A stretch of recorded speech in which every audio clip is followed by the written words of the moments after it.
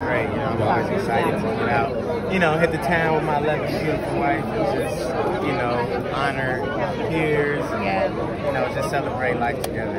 Absolutely. And Eric Bellinger, we see that you've been doing so much music right now. Your music is amazing. Have you collaborated with any Afrobeat artists? And that's actually next. You know, it's interesting. A lot of people have been sending me those style beats, like, E, we gotta get you Yeah. these. And I'm just like, man, I can't wait. So expect some of that, you know, in the future. Absolutely. And what are your thoughts with the Hop Awards bridging the gap between America and Africa?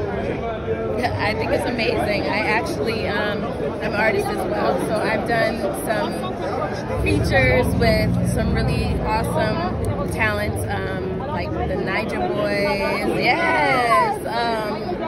Gosh, it's been such a long time, but you know what? I think it's amazing because I feel like there's a, definitely untapped talent there, and to bring that here is something that we can learn from, grow from. I think exposing us to some natural quality music that comes from the motherland. I think that we can all benefit from that and just you know touch our roots, you know. And can we see you two working on anything? Oh my soon? goodness. we have to see some. She snuck that in there. She snuck that in there. I think that's definitely coming.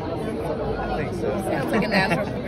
Yeah. Well, you guys look incredible, and Thank thank you you. so much. But before you go, can you guys shout out Inspire Africa LA? yes.